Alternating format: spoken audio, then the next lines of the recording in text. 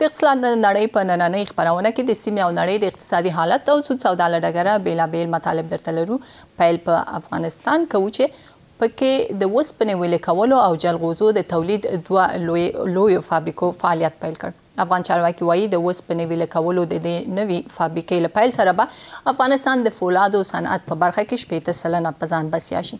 همدارنګه د جلغوزو د پراسس فابریکه هم فعاله شوه. د افغان کرنې وزیر نصیر احمد دراني په وینا، تېر کال یو زرو شپږ سوه او څلور څلوېښت ټنه جلغوزه بهر ته صادره شوې ده.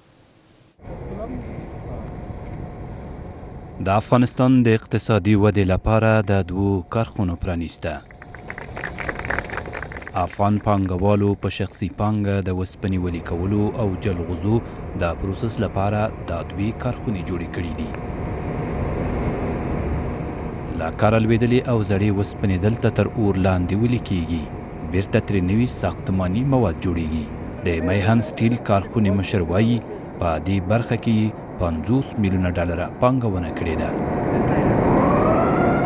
په دې کارخونه کې پنځو سوو کسانو ته د مستقیم کار زمینه هم برابره شوې ده.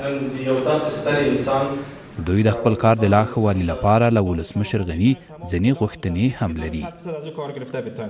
برای حل این مشکل ما پیشنهاد افزایش. موږ د دې ستونزې د حل لپاره وړاندیز کوو چې له بهره په واردېدونکي اوسپنیزو تولیداتو تعرفه چې اوس شپاړس سلنه ده او کافي هم نه ده، څلوېښت سلنې ته لوړه شي. دا په داسې حال کې ده که موږ ګاونډیو هېوادونو ته خپل اوسپنیز تولیدات صادر کړو، له اتیا تر سل سلنې تعرفې سره مخ کېږو، نو ځکه موږ هم باید ورته عمل ورسره وکړو. د افغانستان هر پیداوار ته زه باید بازار پیدا کړم. افغان ولسمشر بیا د هېواد سیاسي ثبات نېغ په نېغه له اقتصادي ثبات سره تړي. ولسمشر وايي په دې برخه کې هر څه یې چې له وسه پوره وي، کوي یې. ښاغلی غني اړوندو ادارو ته سپارښتنه کوي چې د پانګه والو ستونزو ته دې جدي رسیدګي وکړي. د داغمجاتو د شفاف توزیع ستونزه په تاسو تړلید آ کمیته د داغمجات چې خارج د هغه شی و چې اقتصادي شورا کې فیصله کړې وه مانع ده د قاچاق موجب ده هغه رقم کارونه لغوه کړ او ټول داغمجات د هر وزارت چې یو لاس نه د فابریکو ته په یو شفاف سیستم باندې وویشئ غیر له هغه نه به ټول ما ته مسول وي. د فولادو او اوسپنې ولي کولو په برخه کې دا مهال په افغانستان کې څلور سوه میلیونه ډالره پانګونه شوې ده.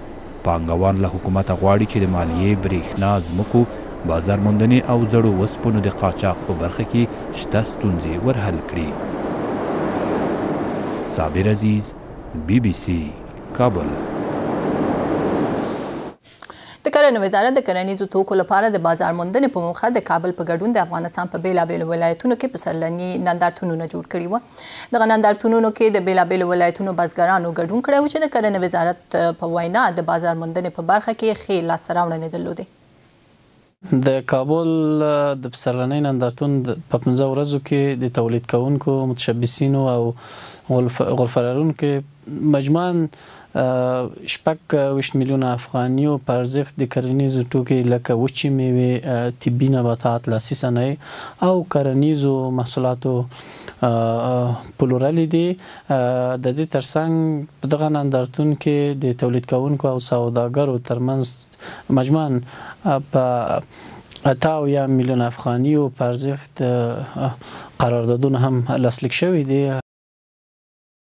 د پاکستان دولتي بانک د سود کچه لس اشاریه صفر پنځه اویا ته پورته کړې لامل یې د پیسو پړسوب اقتصادي او مالي فشارونه ښودل شوي دي د پاکستان دولتي بانک همدارنګه ویلي له جنوري میاشتې راهیسې د دوی د بهرنیو اسعارو په ذخیرو فشار کم شوی ځکه مالي بازار او اقتصادي ټیکاو وایي وده کړې ده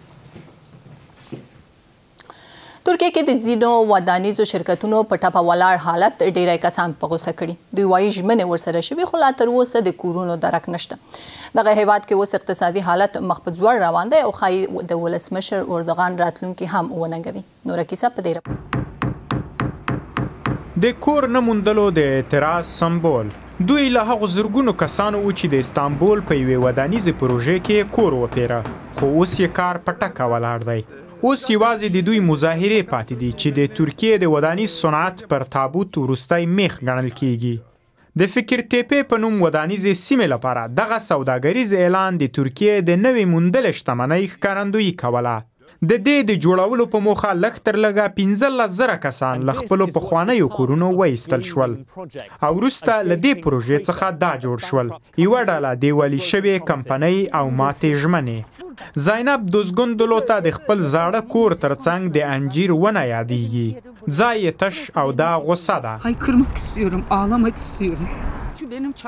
زه غواړم وژاړم چیغې ووهم زما کور ویجاړ شوی له ځامنو مې د پیسو له غوښتلو شرمېږم حکومت ظالم دی دوی ژمنې کوي خو له ټاکنو وروسته مو هیروي له موږ سره دوکه وشوه د کور جوړولو صنعت د ترکیې له اقتصادي ودې سره مرسته کړې، خو اوس له شل سلنه انفلاسیون سره ترکۍ لیرې درېیمه برخه ارزښت له لاسه ورکړی، کمپنۍ په ناکامېدو دي او اقتصاد مخ په ځوړ دی. ترکیه له اقتصادي ناورین سره مخامخ ده او د دې ناورین اصلي لامل بهرنی پور دی چې د خصوصي سکتور له لورې راټول شوی. که دا ودانیزې چارې حل نه شي، موږ به لا زیاتې دیوالۍ ووینو او دا به بېکاري لا زیاته کړي. د خوراکي توکو د دېرش سلنه بیو لوړوالي، هلته حکومت مخامخ په پېرودونکو سبزۍ خرڅوي او منځګړي چې ولسمشر یې د خوړو ترهګر بولي، له پامه غورځوي. ځینې ترې خوښ دي، خو نور یې یوازې د ټاکنو چل ګڼي او وايي د خوړو کتارونه لنډ شوي نه دي، ما پخوا د اردوګان ګوند ته رای ورکړي وه خو بیا به داسي ونه کړم ځکه اقتصاد ښه نه دی زه به دا ځل د اپوزیسیون تر شا دریږم. همدا اقتصاد و چې ولسمشر اردوغان ته یې سیاسي بریا ورکړه او اوس ښکاري چې د ده د پرزیدو لامل به هم وګرځي.